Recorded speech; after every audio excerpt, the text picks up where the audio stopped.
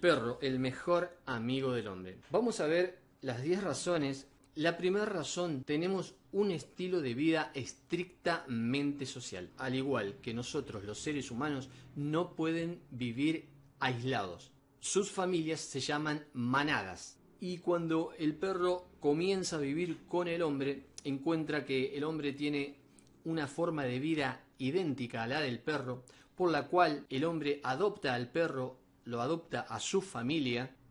La segunda razón por la que el perro es el mejor amigo del hombre es porque los perros, al igual que nosotros los humanos, también son territoriales y jerárquicos. Nosotros los seres humanos formamos, ocupamos un territorio, en la familia nuestro territorio es nuestro hogar, que en la familia, en el grupo en el que convivimos, hay jerarquía.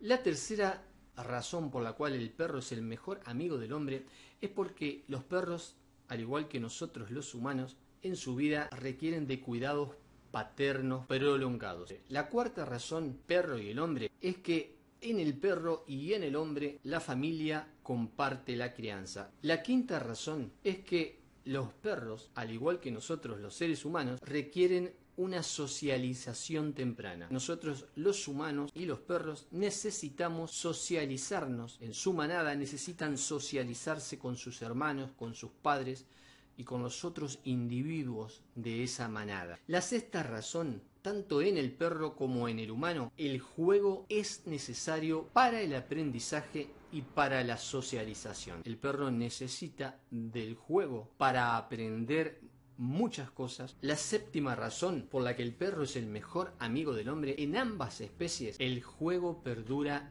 en la etapa adulta. La octava razón es que la madurez sexual precede a la madurez social. La pubertad o madurez sexual llega aproximadamente a los seis meses. Tanto en el perro como en el humano, esta madurez sexual o pubertad ocurre primero y luego tanto el perro como el ser humano alcanzan una madurez social, donde aprenden a relacionarse con los demás individuos, tanto de su misma especie como de otras especies. La novena razón, en sus comienzos el hombre era cazador y los perros en sus comienzos también fueron cazadores. Y la última razón, la alimentación. El perro es carnívoro, principalmente come carne, pero también es un omnívoro oportunista, o sea que cuando se presenta la oportunidad puede comer otras cosas que no sean carne. También son un poco carroñeros. ¿Qué quiere decir carroñeros? Que comen carroña, comen restos de la basura, comen algunos animales en descomposición. Entonces esta fue una característica que cuando los perros en sus comienzos comenzaron a acercarse al humano, encontraron en las poblaciones el hombre eliminaba sus desperdicios, los restos de su alimentación, partes los arrojaban en las partes externas del poblado estos residuos